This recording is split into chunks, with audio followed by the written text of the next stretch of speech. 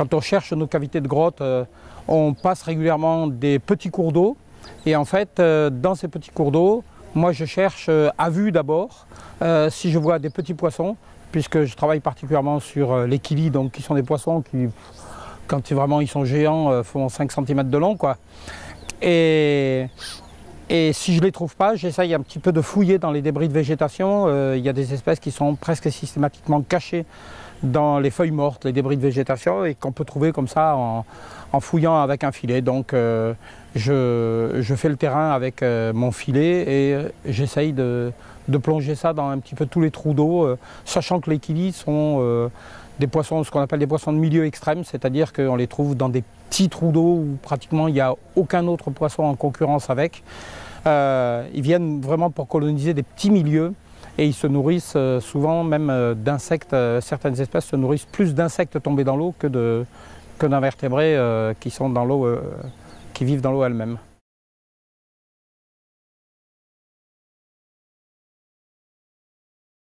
Ben, la région est surtout peu connue. L'intérêt de cette région, c'est qu'elle a été peu euh, visitée par les spécialistes de Kili. Euh, on connaît, euh, grossièrement, il y a une espèce dont on connaît bien la, présence ici, qui est une espèce bien colorée de bleu et de rouge. Mais les espèces qui sont un petit peu moins visibles ont été très peu étudiées. Donc mon but c'était un petit peu d'étudier ces espèces-là, en particulier un genre qui a toujours été peu étudié par euh, les ichtyologues, qui s'appelle le genre Plataplochilus. Euh, on sait qu'il euh, y en a dans la région de l'Astourville. On a une ou deux mentions anciennes de pêche, mais sans précision de l'espèce. Et là, au cours des premiers jours de la mission, ça a été bah, cinq jours de mission, cinq populations nettement différentes. Alors on ne sait pas encore si on a affaire à cinq espèces différentes quand même, ou des populations de plusieurs espèces. En tout cas, ce qui est clair, c'est qu'il y a au moins trois ou quatre espèces.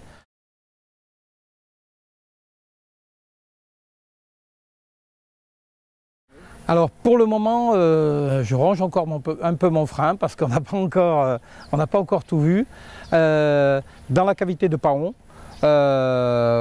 nous sommes rentrés quand même sur plusieurs centaines de mètres dans cette cavité et jusqu'au plus profond de ce qu'on a pu suivre, la petite rivière qui rentre dans la grotte de Paron, on a trouvé une espèce de poisson, un petit poisson-chat de cette espèce-là, de cette longueur-là, un amphilius, qui, qui a l'air bien fixé sur la zone, puisqu'on en a vu pas mal d'exemplaires, donc c'est vraiment le poisson de la rivière. Cela dit, on ne peut sans doute pas parler d'un poisson vraiment trop comme disent euh, les spécialistes, c'est-à-dire euh, limité à la grotte elle-même, puisqu'il ne présente pas de particularité anatomique en rapport avec la vie dans les grottes, notamment pas de dépigmentation, euh, pas de régression ou disparition des yeux. Et la veille, j'en avais pêché un, juste en aval d'une grotte, mais à l'air libre.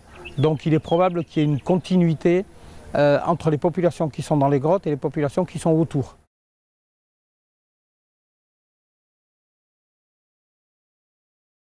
Alors ils vont partir ensuite euh, à l'Institut des sciences de l'évolution de Montpellier, où, on, extraira un petit peu de leur ADN et où on séquencera cet ADN pour voir s'il y a une différence significative entre les deux populations.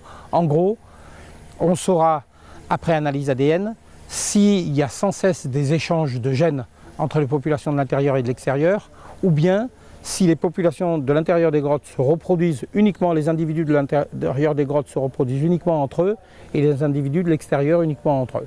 Mais morphologiquement, on ne voit pas de grosse différence.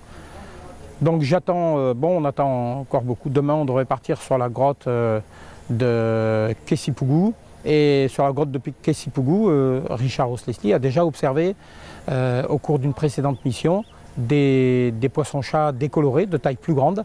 Et là, il y a possibilité euh, qu'il y ait vraiment une dérive génétique chez une population qui, se soit fixée une fois pour toutes dans la, euh, vie, euh, dans la vie troglobique.